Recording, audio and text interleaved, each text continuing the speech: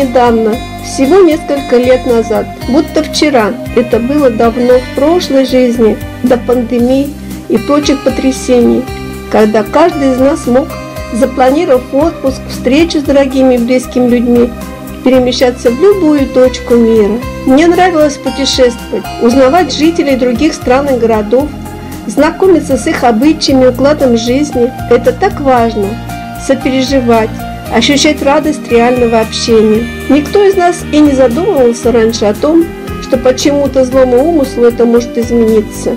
Но сильные мира сего явили миру свое злое могущество, стараясь перенести нас в режим онлайн, лишив нас путешествий и заморозив наши воспоминания. Можем ли мы этому противостоять?